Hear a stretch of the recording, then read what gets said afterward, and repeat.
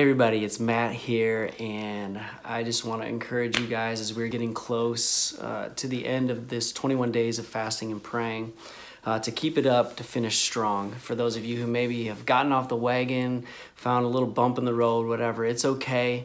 Uh, last week for me, I got sick for a couple of days, and it just took me out. Um, but I've gotten back on the wagon, and I'm going to finish strong, and I hope that you will too. Uh, one of my favorite verses in the Bible is Psalms 37 4, and I've been reminded of it as I have been going throughout this journey. And it simply says, Delight yourself in the Lord, and He will give you the desires of your heart.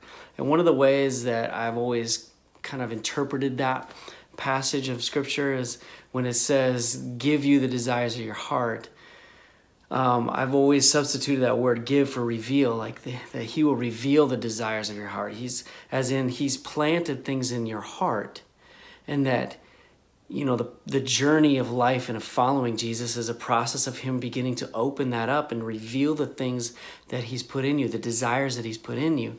And it's been uh, a reminder of that as I've gone through this journey of, of prayer and fasting. And uh, it's been really, really fun to see that. The other thing that he's reminded me of is just the simplicity of following Jesus. You know, as the as you follow Jesus, he reveals those desires of your heart. As that passage says, delight yourself in the Lord or follow Jesus, put him first, seek first the kingdom of God and his righteousness, right? All these things like seek him first, delight in him first, follow him, and he will reveal the desires of your heart. He will give you the desires of your heart.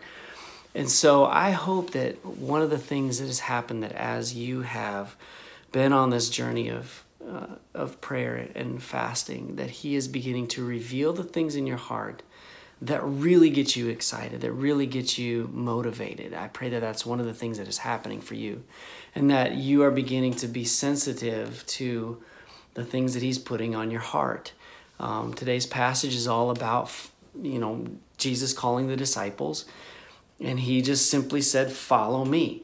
And I love how simple that is. Follow me. They dropped their nets and they began to follow him. And it didn't mean that all of a sudden they were instantly experts in everything. They just trusted him and they followed him.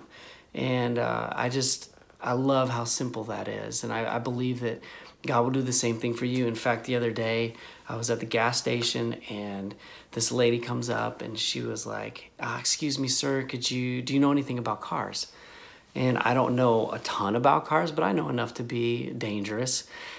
And uh, I said, "Sure, yeah, I could I could help you out." And so she needed help trying to figure out how much oil she had in her car.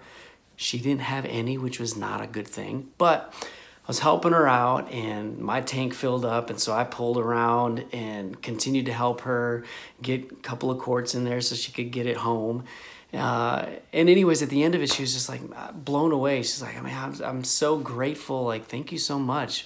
Like most people wouldn't do that. She was just amazed by the kindness of, I get, of it, I guess. And, you know, it was an opportunity for me to just say, hey, it's not a problem. Like, God bless you. Jesus loves you. Um, I hope that this is just something that might encourage your day. Like it was very simple. But when we're sensitive to what God is doing in our life and revealing to us, things naturally, opportunities naturally arise like that. And those opportunities can lead to other conversations that lead to other conversations that then eventually get to a point where you can invite people uh, to church or to your life group or into another conversation. It's very natural when we begin to become sensitive to the things that God is revealing within our hearts.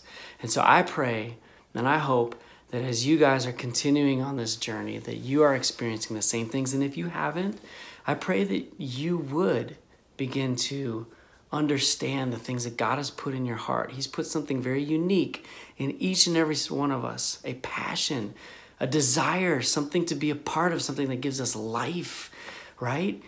He's put that in your heart. And I believe that as we slow down and as we pray and as we focus on Him, that He will begin to reveal those things. And so I'm encouraged by that. I hope that you guys will be encouraged by that as well and that you will actually experience that this week. That's my prayer for you.